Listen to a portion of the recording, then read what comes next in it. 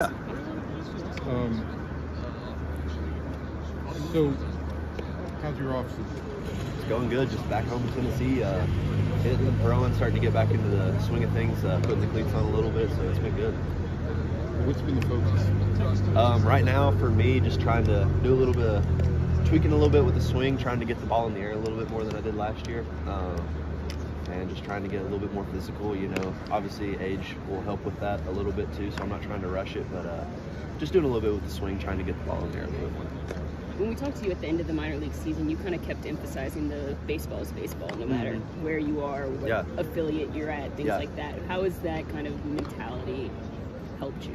Yeah, so you know, obviously, the game doesn't change no matter where you go. Obviously, the players are going to get better as you go up. So, you uh, you know kind of what you're stepping into as far as how the game operates and stuff like that. But you know, pace of play, and you don't want to try and let any of that change. But obviously, you know, you gotta gonna have better pitching, better players, better everything. So you just gotta kind of try and you know rise to that, but not let it get too big. Not you know let the moment get too big for you.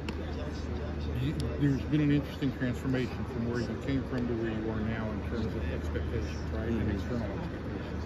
Now all of a sudden you're top 25 prospect in all of this.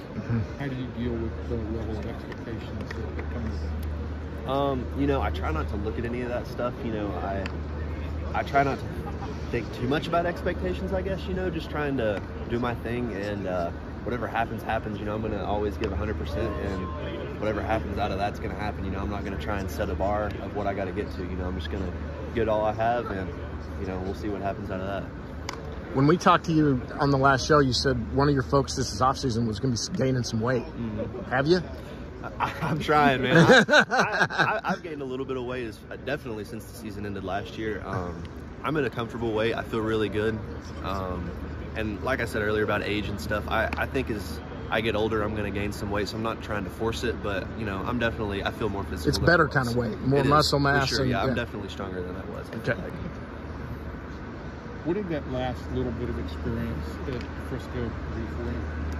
Um, you know, it was really cool to kind of see a different. Um, obviously, Carlos and High was amazing with the manager there. Um, but just you know, it's a level up. It's a different style of player, one step closer to the big league, so it gets a little bit more, um, I guess, on your own rather than you know instructional. I guess. Um, it was it was really cool, you know, and the guys there they were already there, they did a great job welcoming me in, and Tom too, you know, just uh, open arms, you know, great personalities, and you know, you try not to disrupt the culture that was already there, just kind of trying to mold into it. So uh, they did a great job letting us come in on that.